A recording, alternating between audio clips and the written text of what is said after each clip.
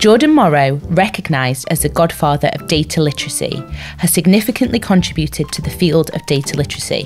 What we're going to need is the ability to understand, ask questions, interpret results, and apply those results over time.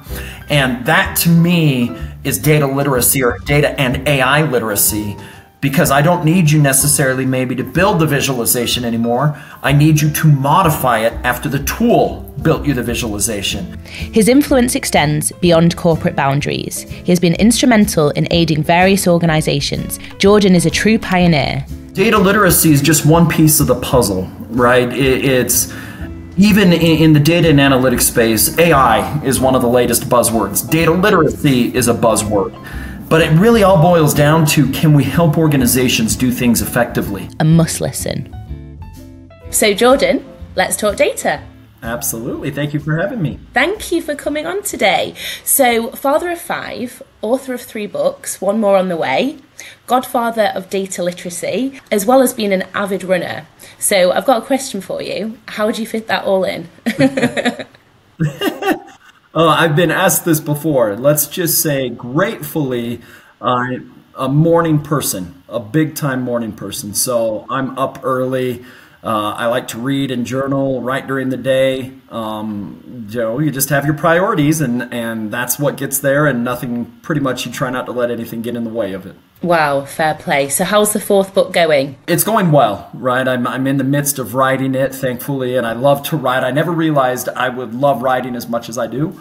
Um, and so I took a break after my third book and came and this fourth book is actually kind of the inverse of what my first three books are for. The first three are really focused on non it's getting data right right by non-data professionals or data professionals. This one is the inverse in that it's basically teaching data professionals how to understand business better because a lot of data strategies aren't bringing a lot of return. They're not successful and it's not because the data professionals aren't good at data and it's not necessarily because a business doesn't want to use data. I think there's multiple things that can get in the way. And one of those might be uh, data professionals just need a better understanding of how data supports a business. So we're writing a book on it. So I want to start with a reflection, if if I may, um, and go back. So when did you really become passionate about advocating data literacy? Do you remember the light bulb moment? I do, and when I had my very first ideas around this, I didn't realize what I was stumbling on. I worked at American Express at the time, and this is all the way maybe in 2015, maybe the end of it. And I was in charge of a business intelligence team, and I was in charge of the training that we were doing for the products we were building. So I would travel back to American Express headquarters in New York. But the way we were training people is on what the dashboards we were building were and how to use them. That's not necessarily training people on how to use data. That's a different thing. And so my audience was not data professionals, it was consumer people. It's like product, maybe marketing. And so I created a new training plan um, to teach like basic statistics. Like, I think I was just having fun, this would be cool. And it actually got shot, shot down, and I was told no oh, by right. my executive vice president. Okay. And she said they're not ready for that, maybe in the future. Now I'm actually grateful it was turned down because I, if I had done it there, I don't know if I go anywhere else with it. And but I don't know if the idea ever left my mind. And so uh, Qlik, the data and analytics vendor, had a position open. And in the very first interview, um, I was told you're the guy for the job, but I had to go through their process. And a lot of people don't know this. I almost pulled out. Well, not necessarily pulled out of the process, but mm-hmm. the the ball was dropped on my recruiting. Right. And so my wife and I were like, yeah, maybe this isn't for us.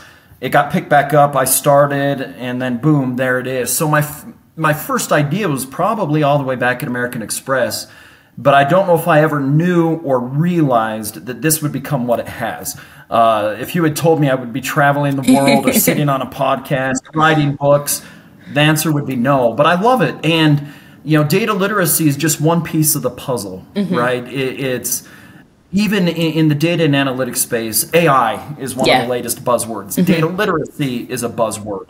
But it really all boils down to can we help organizations do things effectively?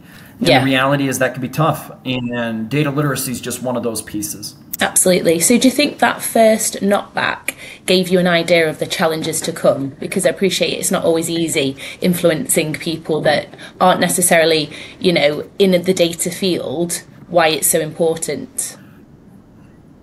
Yeah, so I, I don't know if I, at that very first moment, realized it, right? Because I just had an idea and she was like, nah. And they tried to change my job, and I didn't want to go to, like, they wanted me to be more database administration. That's not me. I like teaching, I like training. Um, but it was interesting because at Qlik, when I was there, we start building it. We didn't announce to the company that I was there for about 11 months because this was totally new. I wasn't selling the product. We eventually gave my data literacy program away for free, and it was new. Gartner hadn't even launched the first article they had on it. So this was a whole new world. And after 11 months, I think it was, no, 10 months roughly, I spoke at Qlik's user conference. I had five breakout sessions. All of them, maybe less than one, all were standing room only. Maybe four of the five. One of them had to be repeated. And that was kind of the proof of concept that, hey, there's something here. Gartner had launched an article. Um, so I, I don't know if I ever really truly realized what I was stumbling upon. It was just a nerdy idea, if you will. It was just let's have fun. I was product agnostic. I was basically an entrepreneur within Qlik. Um, and lo and behold, here we are today. And how amazing, though, they gave you that platform and just said, go for it, pretty much. Yes. Not in simple terms? Huge shout out to Kevin Hannigan.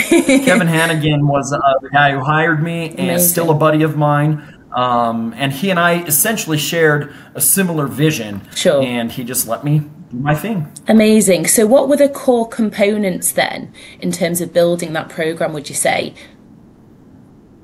So part of it was we at the very beginning I would say you're just kind of throwing ideas out and seeing what sticks and and what works and but it came down to we we latched on to a definition that came from Rahul Bhargava and Catherine D'Ignazio and and they were at Emerson and MIT University. Um, I think Catherine was Emerson and Rahul was MIT and we started to build around that. But at first, I didn't even call it just data literacy. I think we had like data literacy, maybe data and analytical literacy, analytical lit. I mean, so we had multiple names.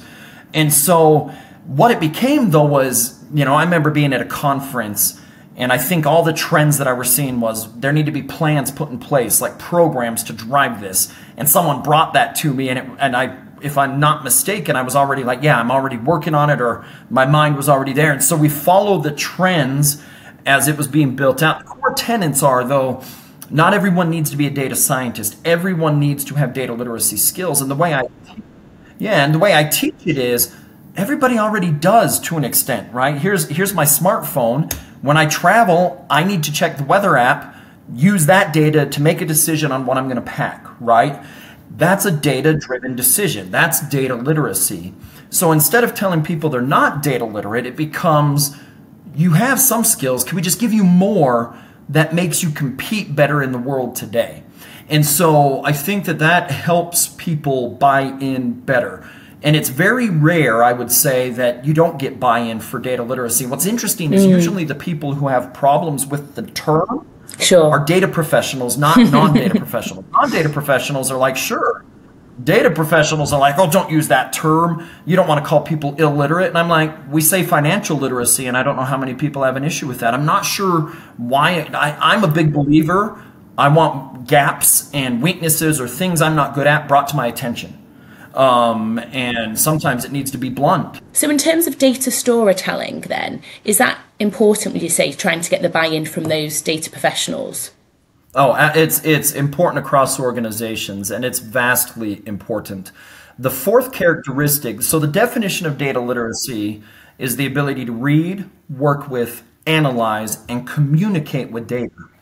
And without good communication, how are you going to do this? Imagine building an amazing data model. The analytics go through the four levels of analytics. You have got amazing insight to help the company, and you're crap at telling the story. Yeah. You can't communicate it. What, what's going to occur then at that point? Are you going to get anything from it? And I think that's a problem. And I think Yeah. so. To me, data storytelling and communicating with data is almost the secret sauce Yeah. that allows it to work. Um, and so, yes, it is so important. It's a key skill to have. And I can tell you're very good at it. well, thank you. So, what examples do you give then? Because you really want to get on a level with people, don't you, so they understand? Because I think a lot of people maybe would come to your presentations um, and you know lessons and sessions and think, "Oof, okay, I don't really know what data is." So, what core examples would you give to someone to make it relatable? Uh, I love that you called it relatable. In fact, it was interesting. When I wrote my third book, I use personal or human examples, Yeah. non like professional examples, because people relate to that. And in my third book, my editor basically was like, don't use too many personal examples. And I'm like, no, we're, we're going to use personal examples. So I'll, I'll use a prime example that I use all the time on stage. And it deals with the four levels of analytics, but it'll show how data can be used, right? So the four levels of analytics are descriptive, diagnostic, predictive, and prescriptive. And so when I tell this story, I, I tell people imagine that you're sick. You go to a doctor, and the doctor says to you, You're sick, leaves the room, and never returns. Basically, that doctor gave you a descriptive analytic, but that's not necessarily what you need, right? They described what is happening. And that's what data does in businesses. That's what BI tools are. That's Microsoft Excel. That's what they are is they give a good descriptive analytic, but that's just the first step. So now you're at the doctor and the doctor says you're sick. Here is why. That's your diagnostic analytic, right? And so in the data space and in the analytics space, you get your dashboard or whatever, and it says this is what happened last quarter. Now you need to figure out why it occurred. Because if a doctor could figure out why you're sick, they could build a prediction that says if you do this, this, or this, you'll get better.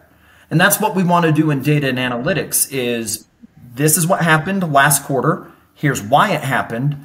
Let's make some ad- adjustments and predict what will happen. And then the final level of analytics is prescriptive analytics. This is machine learning to a degree. In the doctor space, we get prescription pills. That is something that fixes us. Well, think of prescriptive analytics as something telling us what to do. Now, that right there, usually that can help people kind of center their mind. They're like, ah, because businesses need to do the same. You build descriptive analytics, you figure out why things are happening, you build predictions, and sometimes you allow the machines to tell you what to do. Now, just like a doctor, doctors don't always get it right, right? They, they, get, they get your diagnosis wrong, so you go back to the drawing board. Same thing with data and analytics. It's not perfect. So we go through the process, keep going and going, and it is an ongoing thing.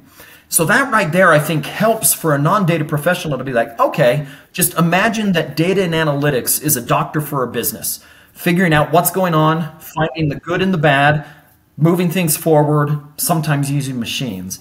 That's all they need to know. Very few people, right? 90 to 99% of people will not be technical data professionals. End of story.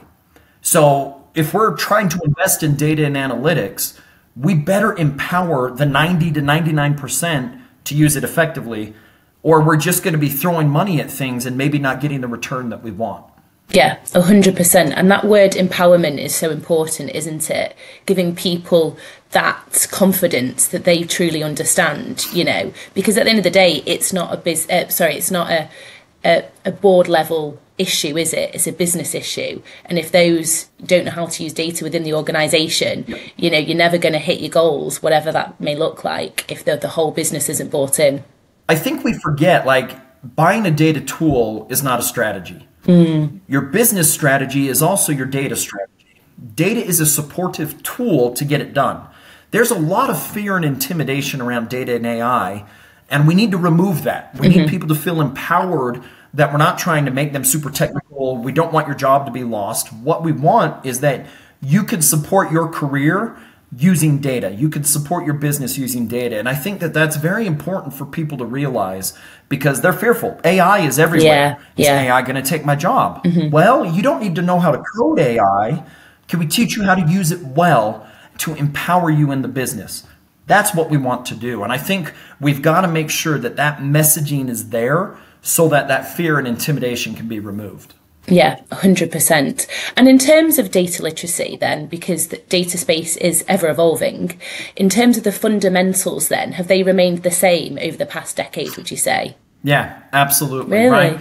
And, and it's because when you think of those four fundamentals Mm. reading, working with data, analyzing data, and communicating with data those are the same. It doesn't matter what the tool does, it doesn't matter what AI does. Can you read the data or the AI?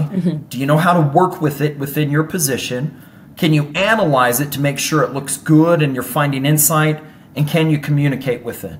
Those four characteristics are going to be there, they're going to remain there um, because they should empower you as new technologies, as new things advance, they should empower you to succeed pretty much no matter what. Yeah, 100%. And I was going to say, because you've worked for pretty impressive organisations, United Nations, Nike, Disney, as well, to name a few, and global audiences as well. So I imagine I'm already answering the question actually, but do you need to tailor your, you know, training at all, or is it pretty standard throughout, would you say?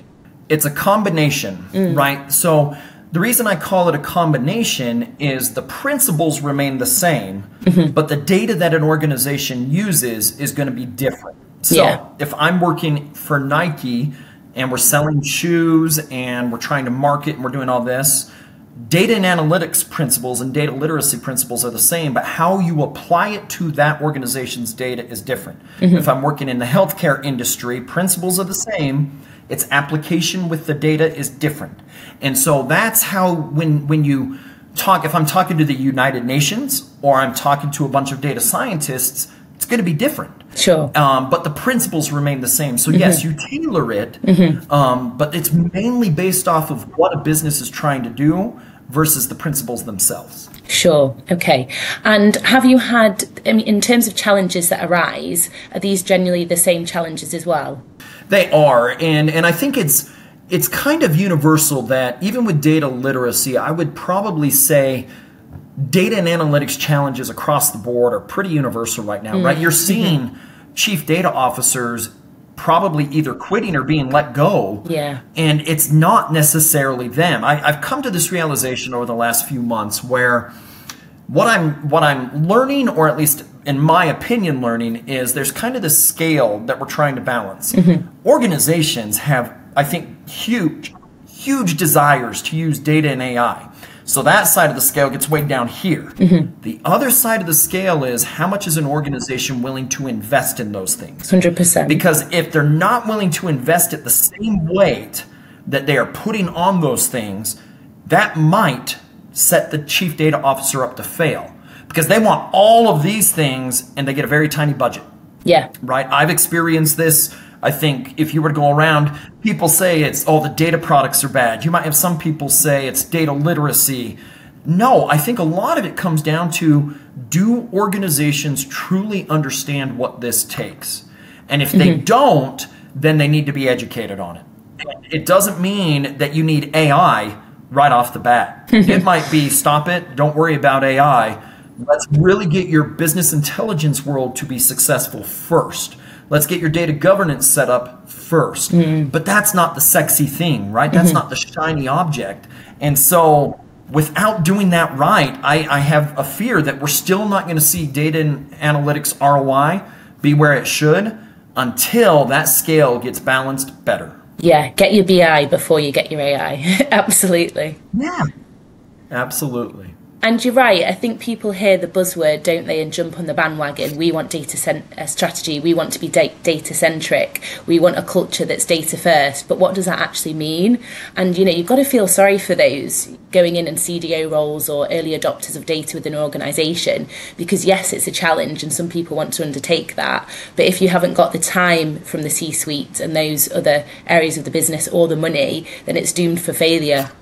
Absolutely is. And it's and that's unfortunate because Yeah, I think course. a lot of data professionals get blamed. Mm. And I, I don't think that's where the blame is. And I don't know if we should be blaming or shaming anybody mm-hmm. on it mm-hmm. because that's not going to be productive. I think I call it almost like we need a renaissance in the data space because I, I hate to see some of these some of these companies like the big big behemoths mm-hmm. and Amazon, a Google, and Apple They have the money to do this well. Google, I mm. just saw today, Google laid off people, and if I remember, it was Google was doing it to redirect funds or sources to AI. Right. What about the mid-sized companies that are trying and they don't have that resource? Mm-hmm.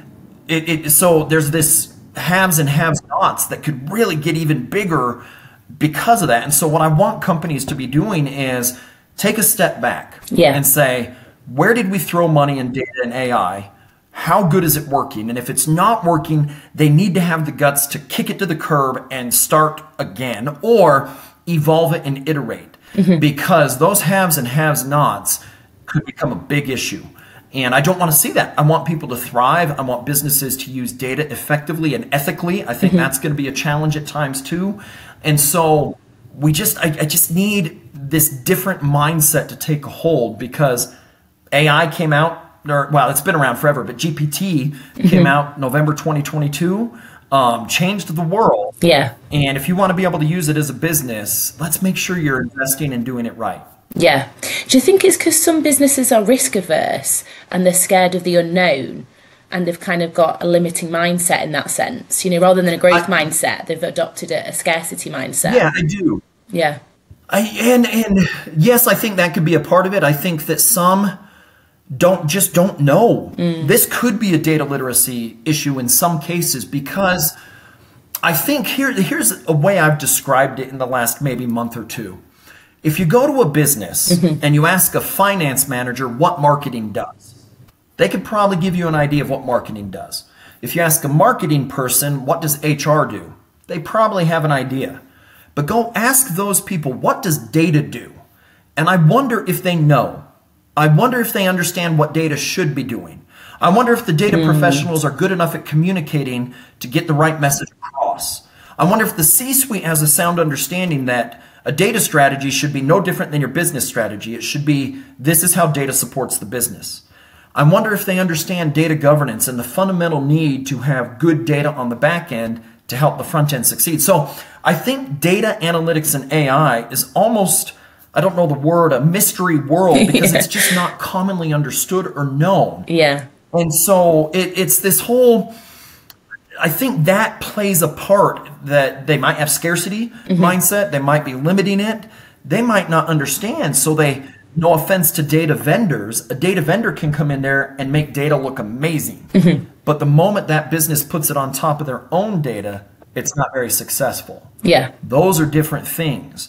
And so I just think that the right communication and the right conversation needs to be had for businesses to have better success in this. Yeah, you've made an example very relatable again. I think you should use that next one in your, in your talk again because that's absolutely right. I don't think people could answer that question. And like I said, it's ubiquitous, but a lot of people are like, what is data? What does data do? What do data people do all day? Just look at numbers. Well, it's not that simple. Um, so that I think that's a really, really good point. No. So in terms of going forward then, what are your predictions for the future of data literacy and how that could look? Well, it's interesting. When ChatGPT came out, I thought to myself, did I just become obsolete? was I erased or was data literacy erased? And then I had a friend say to me, no.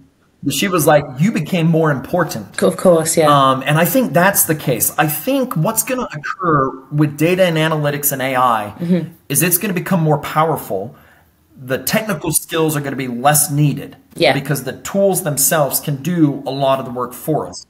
What I think matters most is data and AI literacy from the standpoint of one, understanding how it works, two, understanding how to ask good questions of the data, mm-hmm. three, being able to interpret either what the data analytics or AI says to us. Does this make sense? How can I apply this to the business and so forth? And then, of course, we have to make sure that we're following ethical practices. Yeah. Right? The the fact that there's going to be more regulations around things. So I personally think technical skills from are, are maybe going to become less and less. We're just not going to need it as much as the tools and the AI and the technology are good. What we're going to need mm. is the ability to understand, ask questions, interpret results, and apply those results over time. Mm-hmm. And that to me is data literacy or data and AI literacy because I don't need you necessarily maybe to build the visualization anymore. I need you to modify it after the tool built you the visualization. I need you to then apply it to a data story. How do you take the results, communicate it internally, and so forth? Um, and so I think that's going to become uh, a key element. And so that's why certain programs and training and things like that mm-hmm. need to get strong so that a workforce know, knows how to do that. Yeah. And interestingly, for a real cultural shift, as we're looking for, it really starts with early education. Now, I don't know, do you have any programs with schools? Is that something that you've explored before? Or do you think that is something that we need to implement in our curriculum? I, I absolutely do, mm-hmm. right? I mean, you, you hear people talk about in high school, should we be teaching this or should we be teaching finances and how to manage your money? Mm-hmm. Should we be teaching this or teaching how real estate works? should we be teaching this or should we be teaching how to read and use data? Right? I think that is key. Do I see it becoming bigger? I do. Yeah. Little sneak peek. I'm a part of a, uh, kind of children's teenage data literacy book that's coming out. It's oh, probably wow. more for younger kids. Yeah. Um, and that'll be coming out here. I think it's this year that it's coming out. That should be tapped into the education system. Mm-hmm. I see, um, I've been able to help at, at colleges or universities. So I do. I, I agree. I think that there needed to be a shift in education anyway. Yeah, yeah sure. Right? Sure. We, we've seen the world shift massively but I don't know how much education has shifted with the world. And mm-hmm. so, but yeah, my children know that I'm the guy who tells them never to stop asking questions. I have five kids. I get too many questions. so sometimes I tell them be quiet. Um, but they know that dad says always ask questions. Sure. Never stop. Yeah. Because adults, like children, are the best data literacy detectives. Mm. Children are amazing. They're always asking questions, figuring things out.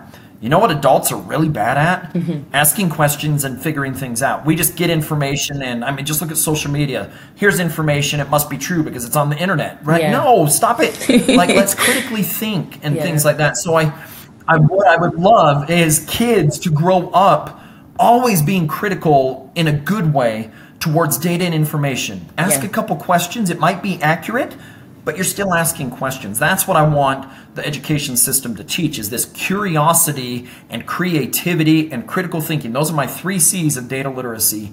I just don't want it to go away. But as adults, man, we're just we're just not good at it anymore. No, we're not. It's we, we just get things instantly, we don't we? Instant gratification without really needing to even think about it. You get an answer, then you forget about it and move on to something else. Yep, exactly right. So those are the three C's. So curiosity. What was the other two? Sorry creativity mm-hmm. and critical thinking. Okay. It's very interesting. I'll ask an audience, you know, how many of you think you're creative? Mm. And I don't get it like the majority of people raising their hands. Mm-hmm. But if you look at children, I think they're pretty creative. Yeah. Pretty much probably all of us are close to everybody. As kids, we're creative. What happened? Mm-hmm. Right? I don't know. Could we say it's the education system? I don't know. It'd have to probably be studied. Is it that we get overwhelmed and there's just too much? I would also like to see that happen in the data space. Mm-hmm. I think people are overwhelmed with everything that's out there. Yeah. So for me, it just boils down to take a step back, reassess what you're doing, and then and, and figure it out. Don't worry so much about what are we doing here, what are we doing here. Instead, say, what is my business trying to achieve? Okay, how can data support that? I think that's helpful for people to learn and grow. Yeah. Do you know, I'm reading a book called Move at the moment, and it actually talks about the power of creativity. And the, for the first time on record, children's ability to be creative is declining for the first time ever and they think it's because of just yeah like you said being overwhelmed and the digital revolution and, day we're living in where we just have things instantly. Because if you think about it when you are a child you have a lot of time. And i remember i used to say to my mum i'm bored. And she say oh, she used to say to me only boring people get bored and then i used to have to go and think about something to do. So i'd go and i don't know create a den, do a puzzle, do this, do that. But now it's like you don't have the opportunity to be bored because you've got your phone, you've got a TV, you've got a game. So I do think that plays a huge part in it. It does. There's a, a book out there. In fact, it might be sitting by me somewhere. I finished it recently called um, Stolen Focus. Mm-hmm. And it's by Johann Hari. And I recommend people read it. Mm-hmm. On the back cover alone, it says a teenager, and I might mess the wording up, hopefully not a teenager can focus on one task, an average or something like that of 65 seconds. That's it. Okay. An wow. office worker, so adults, I would say, an office worker, the number is three minutes. Right? So the, you're exactly right. I look at my kids and, and when they come to me and say, what can I do? like I, they know I hate electronics. I mean, I understand there's a place for Yeah. it, right? Yeah. Don't get me wrong. But, you know, I tell my wife, I'm a kid, I'm biking around a neighborhood. You leave at lunchtime. You're not even Yeah. back till dinner time. My parents didn't know where I was per se. I'd go play at a lake. like, I can't imagine my mom being happy if I let my children go play at a lake without adult supervision. You know what I mean? Mm. And so you're exactly right. Like in this book, Stolen Focus, the distracted world that we live in, one of the reasons, if I remember right, is too much information out there. Mm-hmm. Right? There's just too much. Yeah. And so we it, you, in the past you would stand at the grocery line to buy your groceries and you didn't have a phone to pull out and check your social media feed. Yeah. But what do people do when they're waiting nowadays for a Starbucks or a coffee or groceries? You pull your phone out. Mm-hmm. And so like there's another book out there called Deep Work by Cal Newport. That one's probably on my shelf back here. and he says in that book your brain has capacity for 4 hours a day of deep work. Right. And I would argue I don't know one person who gets all four hours in. Mm. And I'm a guy who gets up early and likes to read and all that. And I like to dedicate time to study. And I'm not getting four hours. Mm-hmm. And so I think that we have to, the, the renaissance, right? It doesn't even go there. This could be a whole other episode, mm-hmm. non data talk, right? But let's talk distraction. Um, but I think the data space, right? The data space is full of distraction Yeah. too. Yeah, you're oh, right. look how cool AI is. Look how cool that vendor is. Look at that visualization versus what's our strategy. Mm-hmm. I think we have to remove the distraction and do it right. Yeah, absolutely. And going back to move, but coming back to data as well, they were saying about creativity really does spur in people when you are moving. And if I think about it, I, I like to run as well, like yourself. And that's where I get some of my best ideas. I'm like, right, I'm going to go back to the office and implement this. And, and do you find that as well yourself? Is that why you like to run? For many other reasons as well, I imagine. I, I absolutely right. Like I, I think there's uh, data. go figure. There's data that supports that. Like moving while you work or, or moving creates ideas and, and creates connectivity across Yeah. the brain. So I have a treadmill right there next to me or, or close to me that I can put a treadmill desk on and I can work while I'm walking. on and yes, my work is better when I do that. Really? Um, and so, yes, absolutely. I think you hear people say that, right? Is Mm-hmm. is you, you sit at your desk, you work, you work, you work. Go for a walk. I think the data shows you should be going for a five or ten minute walk every hour. Yeah. How many people do that? Right? How many people get out into the sunlight and allow vitamin D to hit you? Like all these things that we should be doing, and I'm a huge health nut, right? It's instead of doing what we should be doing in these cases, we are impeding what I mean, humans are amazing, but we impede that creativity and amazing things that can be done in data and everything mm-hmm. Because we're we're caught in the rat race, if you will. Yeah, absolutely. So, in terms of data in your personal life, is that something that is always on your mind? Is it like an obsession? I don't know how it is to live and constantly just thinking about data all the time. Yeah, it, it it's it, it may be too much of who of I who I am. So I've had to get to the point because I question everything. I want people to question everything, but there is a balance, right? If my wife is telling me about a study she read the other day, she's not looking for data Jordan to come out and question it, which I have done in the past, and that's not a good thing. She just wants husband Jordan to listen to something she found interesting, right? and so I do think there's a balance between um, doing it right and doing it well and Yeah. understanding how to do that from a personal perspective. Um, because, yes, sometimes if data comes out, um, yes, you've got to question it. I mean, look at politics today. I mean, come on. Like, you should be questioning pretty much everything put out by a politician. Um, but then if your wife's like, I read something cool the other day, and in fact, I used to joke whether it was true or not, it probably was. Like if my wife and I were on a couple's date with someone else, and she's trying to bring up a study she found, she would turn to me and say, Shut up, Jordan. Or maybe not even turn to me, but be like, Shut up, Jordan, because all she wants to do is talk about it, Yeah. not have Jordan come in and be like, All right, let's blow it up. Now, this proud data nerd is that my wife has gotten to the point where she thinks differently about data, right? She's like, I'm not sure where the data came from. We might have to see how it was pulled or whatever she would say. I was like, ah, that's data literacy. That's picking it apart in a healthy way to make sure you're getting the non-emotion driven response, right? I think that's one of the keys. I tell people leave emotion at the door because you're trying to find objective truth as much as you can with the data and information to make a decision. Yeah, 100%. And I was just about to mention that actually. I adopted be data driven as a value last year purely because I was making such emotional decisions in the moment. And I think a lot of people do. And I would, just wasn't looking at the data. Although, you know, I operate in the space, obviously it's an important part of what I do. I let emotions take over. So is that something you talk about as well, you know, when you go and, and do presentations?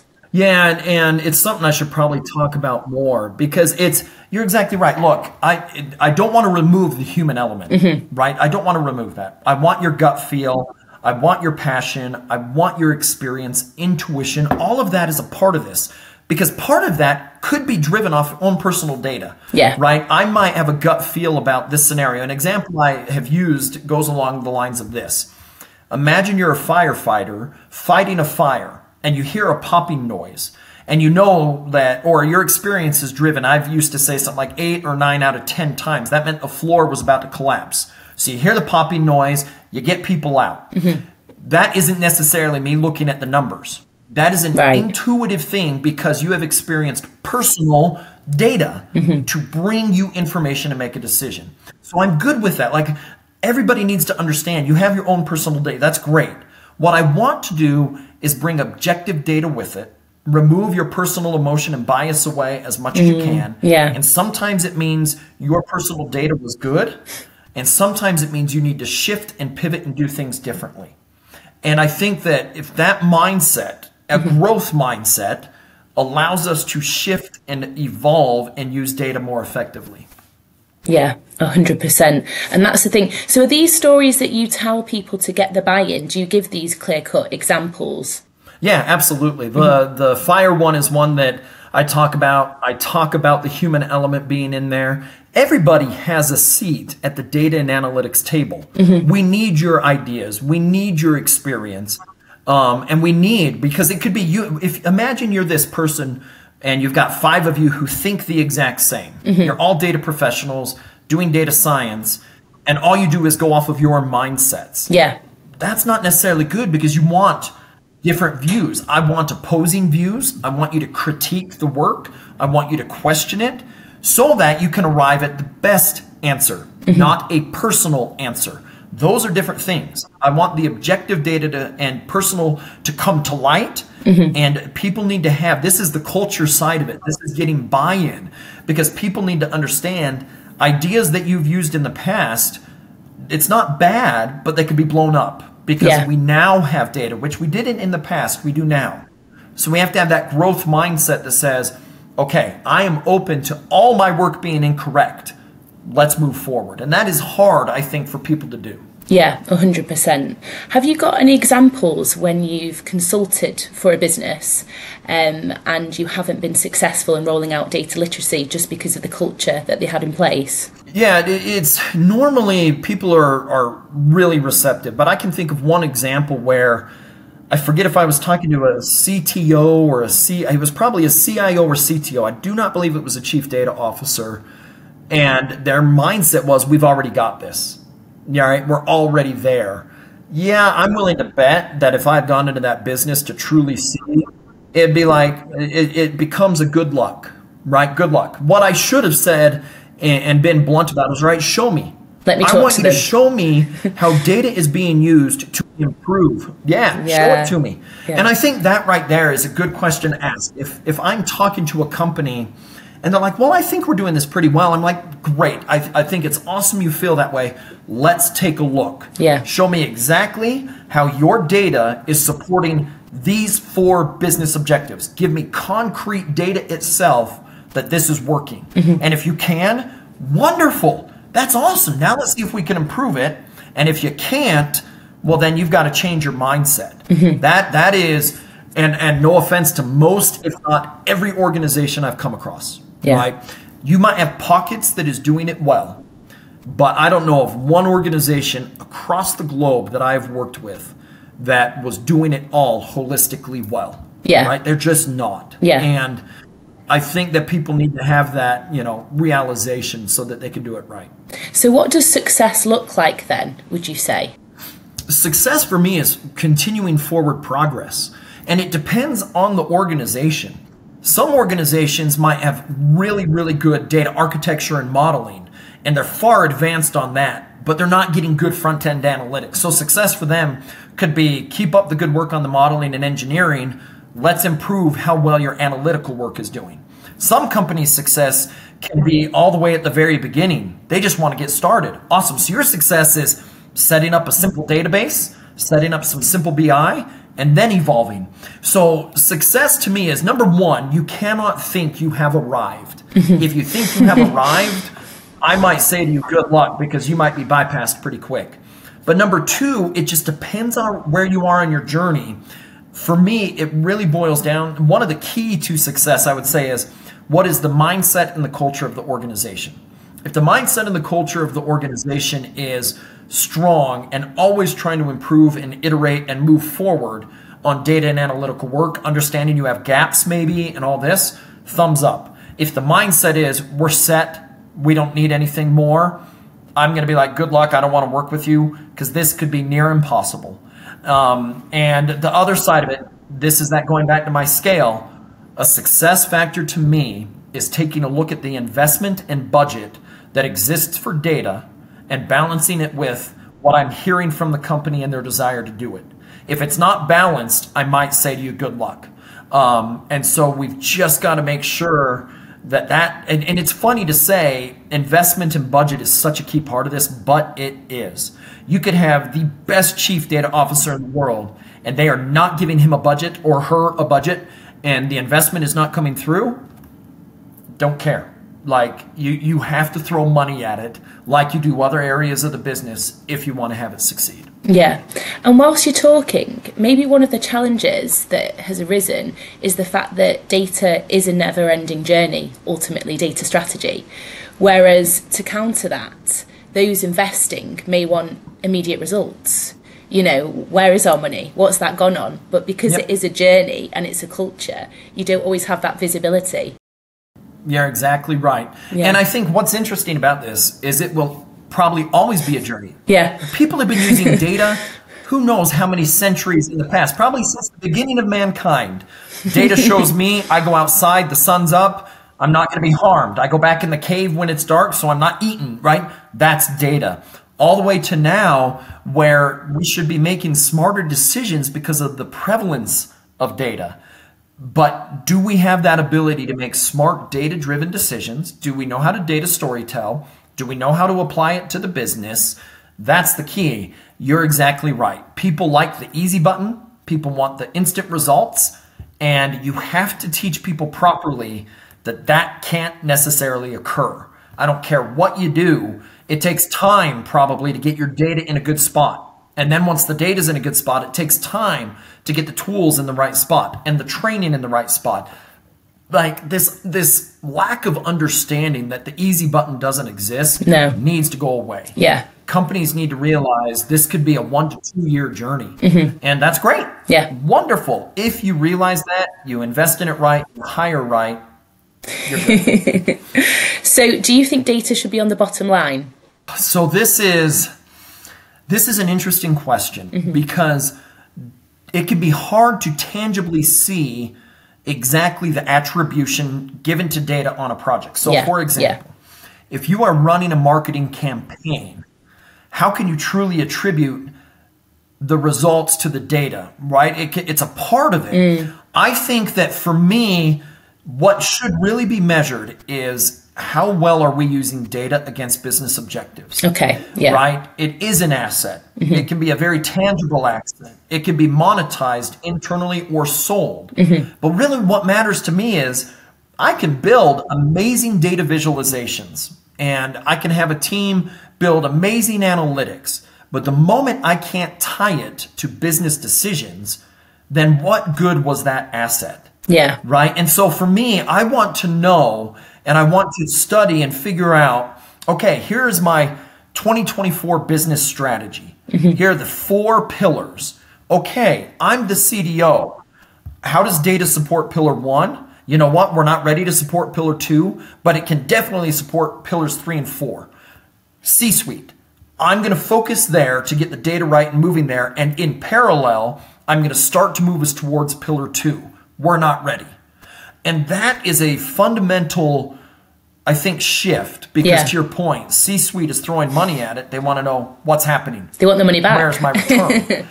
Versus, okay, let me, yeah. it- it- and so I, I just want to show them, look, this is where we are. This is how we support the business, and we will move forward. That to me is a valuable asset. That to me is the right asset of data um, because it's moving us in the right direction. If if an organization that that's that's hard though because Yeah, to your point, how did it contribute to the bottom line? How I, we invested 10 million, can we show our ROI was 15 million? Maybe. Mm. Because it's an intangible thing that is a part of the process. So there is some mindset that needs to be developed if it's not there. Yeah, it's not always black and white, is it? I want people to get into the gray. Yeah, Right? And I want people to be uncomfortable with uncertainty. sure. Right? Like one of the examples that I've shared is how many people get big bonuses after working on a project for 6 months and it doesn't work. Mm-hmm. Right? They don't they don't reward that. And I'm the guy that says I want to reward that because it might not have had the end outcome that I wanted to see, mm-hmm. but look at all the learning we had along this journey of 6 months that we can implement now. Yeah. And that it, it's just so different. That is a different mindset. We're so set in the ways that oh, to get a big bonus, you have to have success here and you have to do this. And I look at it and say that's not data and analytics. It's not No. perfect. No. I would rather have someone who has never done data and analytics in their life and is struggling mightily. And none of their projects succeeded in a year, but I can see their growth and how it contributed to the business. I'm gonna I'm gonna reward them. But that's not people's mindsets. And Yeah. so I wish that they could start to see data that way. Yeah, focus on the inputs and not always always the outputs. Yeah, love that. Okay, so we're going to move on to the data lightning quick fire round. So five questions. so question number 1, what is a misconception about data that you'd like to debunk? Oh, I'll go the easy button. Mm-hmm. I, I I think that that people who don't understand what it takes think that yes, I need my results now. Yeah. That is a misconception that can harm credibility. It can harm trust. It can harm so much. I want people to understand that this is a process and it takes investment, time, strength. It takes things to make it work. Yeah, good answer. Name a book, event, or podcast that every data enthusiast should explore. Number one, let's talk data. I'll say they need to explore your podcast. Why, thank you. Um, but for me, you're welcome. Um, I. I, I read a lot. Mm. And so for me, I don't know if I have a data book, maybe my first book, if you're trying to get started, called mm-hmm. Be Data Literate. I would take a look at books that really deal with your mindset mm. and how you're approaching this. So one I'm studying now is called The Greatness Mindset by Lewis Howes. Mm-hmm. Um, and I'm working with a company figuring out how to apply that to their business. Oh, cool. Even though it's about personal growth, mm-hmm. How can you shift and do stuff this way? So The Greatness Mindset by Lewis Howes is one. Amazing. And how about an event? Ooh, an event.